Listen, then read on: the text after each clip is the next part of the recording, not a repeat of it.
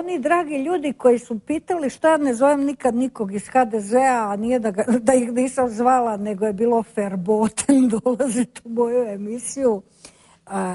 sad mogu odahnuti jer evo imamo čovjeka iz HDZ-a, što više čovjeka koji, e, koji je krenuo u kampanju za predsjednika te stranke, doktor Milan Kujundžić, dobro večer, dobrodošli u našu Poštovanje, hvala vam lijepa što Evo, dragi ljudi, ako ima, imate nekakvo pitanje, sugestiju, komentar ili nešto ovaj, profesoru Kujundžiću, kandidatu za predsjednika HDZ-a, možete a, moći ćete se javiti, samo nemojte prostačiti, ono, to znate da, da to bez milosti režemo.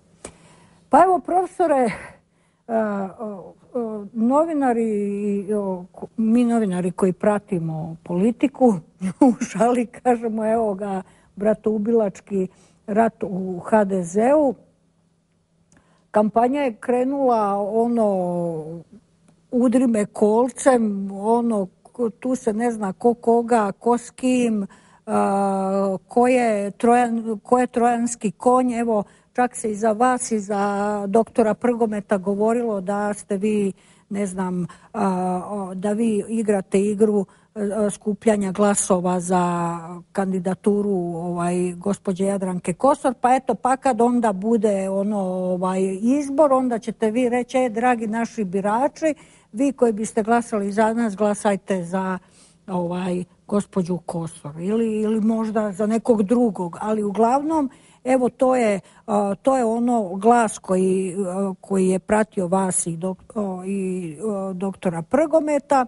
Međutim, sad se, sad se situacija ono usložnila, uozbiljila. Sad imamo u zadnje vrijeme, zadnjih dana, imamo velikoj prekid prijateljstva koji je donedavno vladao između Karamarka koji sutra objavljuje svoju kandidaturu i, i sadašnje predsjednice Jadranke Kosor. Evo svi se sjećamo, ja neću puštati prilog jedan šaljivi koji smo mi napravili kad je predsjednica Kosor uručivala Karamarku onu iskaznicu, pa je onda tu spadali komplimenti, svi su mi govorili da te smijenim, ali ja nisam htjela. Mi smo zajedno odradili borbu protiv korupcije. Kad ono sad, evo, svjedoci smo nečeg drugog, ono... Pa evo, kako vi komentirate atmosferu koja se događa kod vas u stranci? Evo, ja kao novinar, ja mogu reći što, ja mislim, ono, mene ništa ne obvezuje, ja nisam niti član, niti ulazim u, u natjecanje za bilo, bilo koju poziciju, ali evo kako vi koji ste, koji, e, koji ste istaknuli svoju kandidaturu sasvim legitimno, komentirate sve ovo što se događa. Hoću, komentirat ću, vrlo rado ću komentirati.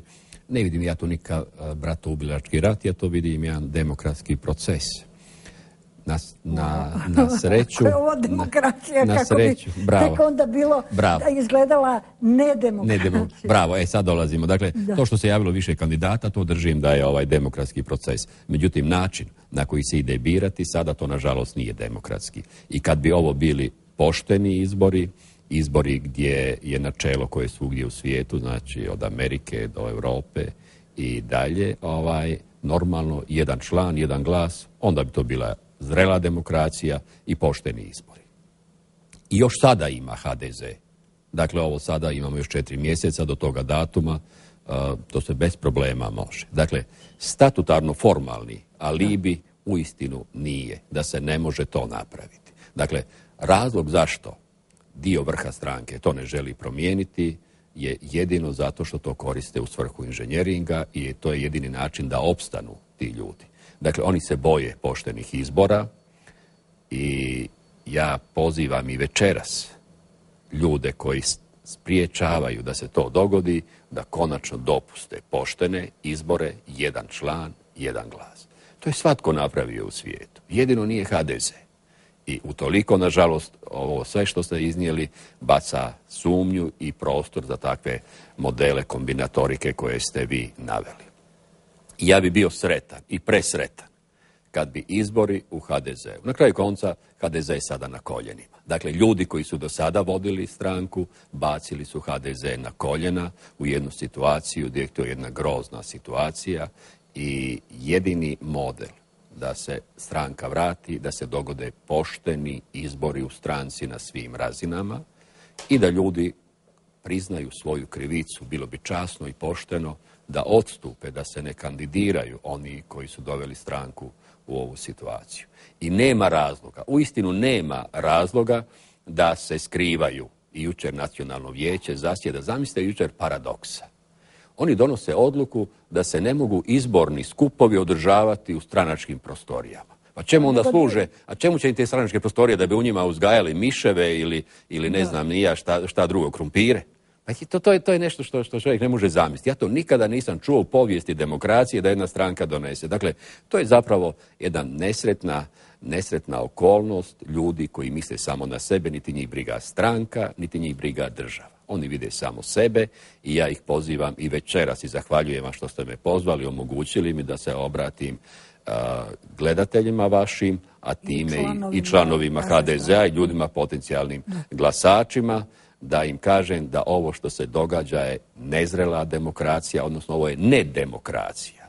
I da nema razloga da se ne sastane nacionalno vijeće, odnosno središnjica stranke i predsjedništva i donesu odluku da će se promijeniti statut u tome smislu, da će konačno to postati demokratska zajednica i da će se izbori dogoditi po modelu što je normalna stvar. Jedan čovjek, jedan glas. Mogu se staviti kriteriji da kandidat za predsjednika treba skupiti tisuću, pet ili pedeset tisuća uh, potpisa. Ali na ovaj način, ako oni sada idu, oni se boje zapravo. Ti ljudi se boje demokracije. Oni se boje da u svome temeljnom ogranku ne mogu skupiti sto potpisa. Evo ja tvrdim, nažalost, za neke te ljude da u svome temeljnom ogranku ne mogu. I zato idu na ove modele inženjeri. Tu je bit stvari, a to onda otvara i to baca sjenu. Jednu groznu sjenu baca na ovu časnu e, stranku koja je stvorila Hrvatsku državu. Ova stranka je stvorila neovisnu Republiku Hrvatsku, san generacija i generacija Hrvata koji su sanjali, ginuli, umirali na koje kakvim frontovima za tuđe i koje kakve interese sanjali i konačno došao predsjednik Tuđman, stvorio Hrvatsku državu, stvorio stranku i sada oni uništili stranku, a posredno preko toga će uništiti Hrvatsku državu i budućnost Hrvatskoj djeci. I u to ime ja ih večeras pozivam, gospodo, kanite se kvazi demokracije, promijenite taj članak u statutu, dopustite poštene izbore, jedan glas, jedan član, iziđite i ne bojte se. A s druge strane, kao što je Papa Vojtila došao 1994. kad je rat bjesnio u Hrvatskoj rekao ne bojte se. Ja sada pozivam moje članove, stranke, nek se ne boje i neka dignu svoj glas protiv ove oligarhije u HDZ-u, da se okane kvazi demokracije, jer i onako će im se prije ili poslije dogoditi, ja to koristim u zadnje vrijeme izraz, takozvano arapsko proljeće, gdje će članovi stranke od njih zatražiti da odstupe milom ili na drugi način. Prije, prije izbora, prije, dok prije sastavljanja izbornih lista, vi ste sa svima mogli razgovarati ovako privatno u četiri oka, međutim niko se nije usudio javno bilo, bilo šta kritički reći, bilo se na šta osvrnut, jer su se svi bojali ili da se neće naći na izbornim listama dovoljno visoko da, da uđu, uđu u sabor ili su se ljudi boje, neki su se bojali ovog olakog izbacivanja iz stranke i evo, meni je, mi smo to često, o, tom često govorili u emisiji, da krenemo od onoga što se dogodilo oko onoga navodnog puča Ive Sanadera. kad je, on, kad je ono izašao i rekao je ono, ono što je istina, da stranka nije dobro prošla na predsjedničkim izborima, ono, to je proglašeno pučem, tu se čak govorilo o tome da je ovaj da su stranačke prostorije bile ozvučene ovaj i da se onda sjelo pa se vijećalo o tome ko je bio, šta je bio i ono da, o, izbacivanje koje nije baš bilo po statutu i po ajmo reći zakonu. I, i ono da su ljudi morali javno reći e, mi smo za izbacivanje, mi nismo. Ono je bilo vrlo, ono je bilo vrlo tužno, ovaj, vrlo tužno i, i tragično gledati. Nažalost, u HDZ-u se zadnjih godina dogodilo puno Da ne govorimo o tome kako su neki ljudi jednostavno zato što su neko krivo pogledali ili nešto jednostavno zbrisani, otpisani, stavljeni na, na marginu, to ono sveci blago dijele. Gledajte ovako, HDZ nažalost je stranka koja je skupila nekoliko tragičnih situacija kojih se ja kao HDZ-ovac srami. Ja se toga srami kao Hrvat i ja ću se za neke stvari koje se dogodile u HDZ-u, ako dođem za, na mjesto predsjednika stranke, ispričati članovima stranke i hrvatskom narodu. A prvo što ću napraviti je da ću izbrisati instituciju brisanja iz članstva. Dakle, to je nešto što je nepojmljivo. Zato što je netko počinio takozvani verbalni delikt, onda ga briše predsjednica, odnosno predsjednika briše, to je nešto grozno. Naravno da ako se ljudi ogriješe da trebaju ići na, na sud e, časti koje imaju sve stranke, ali instituciju brisanja to je jedan grozni čin. I drugo, ako ne uspijem sada, ako ne uspijem sada, onda ću sigurno vrlo brzo, kad dođe na čelo stranke, promijeniti statut gdje će biti jedan član jedan glas. I gospodo, idite pošteno na izbore, nek se kandidira tri, pet ili 50 kandidata i gdje će dobiti ili ne dobiti povjerenje. A ne kao što sada dođe ceduljica, šapa treba izabrati ovoga i to se onda trguje. Ovaj će biti ovdje, ovaj će biti ovdje, a zato će dati toliko novaca, zato će se zaposliti ovome ovo. To je zapravo nešto što je stranku uništilo i što nas je opravdano glasačko tijelo kaznilo. Mi nismo izgubili ove izbore zato što nas SDP pobjedi. Mi smo sami sebe pobjedili. Ja to stalno govorim, a govorio sam i prije nego su bili parlamentarni izbori. Imali smo negativnu selekciju ljudi. To je glavni problem HDZ-a. Zato što su u igraonicama, na mještaljkama birani podobni, a ne kvalitetni ljudi.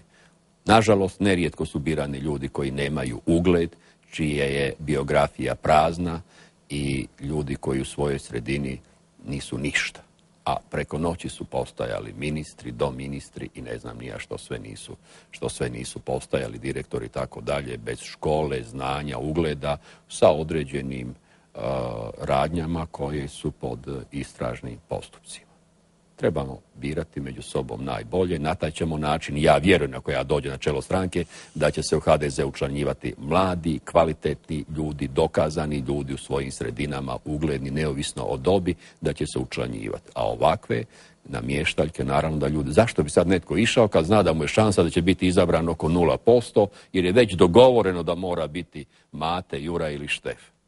Kako je korist eh, za HDZ braco i seka Kerum u Saboru? Šta su braco i Seka Kerum donijeli HDZ-u? Ja mislim da HDZ-u nisu donijeli ništa. Oni su ljudi dobili mjesto u Saboru, ali HDZ s tim I što kaže, mislim, bilo je, ja sam čula da je gospodin Kerum čak rekao da je prošlo onako, ovako trgovački rečeno gladi bradu, jer nije ga koštala puno izborna kampanja. Ne znam, to zaista nisam čuo, ne mogu komentirati, ali HDZ s njima nije dobio ništa.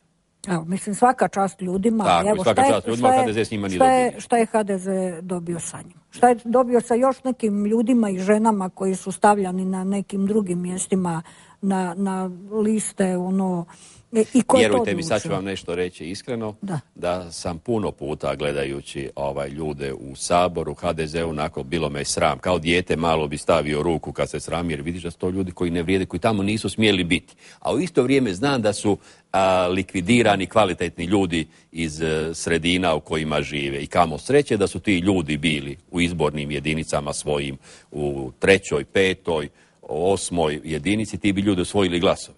A ovako su oni bili maknuti i došli su nekakvi ljudi koji ničim nisu to zaslužili, ali su bili bliski strukturama i one su ih stavile. Što mislite o, recimo, gospodin Miroslav Tuđman, on je ovaj, bio na listi HDZ-a, ja cijenim profesora Tuđmana, ali sa njegovi politički pokušaj do sada nisu baš urodili nekakvim velikim plodovima.